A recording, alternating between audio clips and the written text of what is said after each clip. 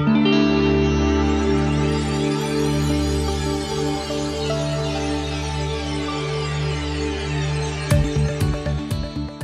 name is Megan Ivory. I'm a fourth year PhD student studying physics at the College of William & Mary, and I have an undergraduate degree in physics from St. Vincent College to get it coupled correctly. Mm -hmm. So we have, this is the ultra cold atom lab at William & Mary, and we are doing pretty much exactly what it sounds like. We're making atoms really, really cold.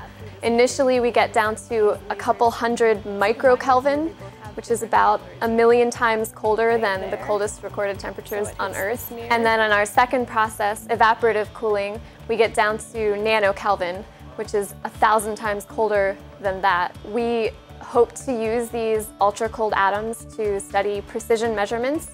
We use a process called atom interferometry and hopefully we can obtain really precise measurements of these sorts of things and develop better tools for measuring them.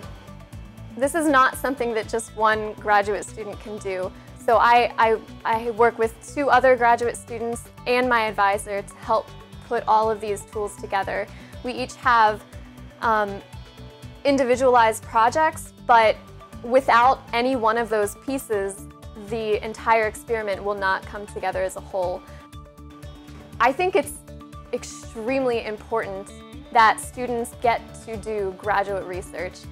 If you want to use your career to come up with new ideas and figure out what we don't understand already and have the tools to be able to explore that, to design your own research projects, to build a new apparatus for studying things, you, it's, it's so crucial that you have graduate research experience.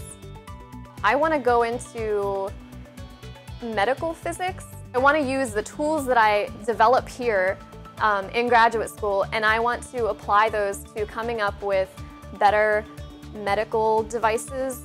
There's so much to be learned when you start bridging the gap between biology and physics and there are so many tools that we can develop to make, to make treatments more realizable in the medical field.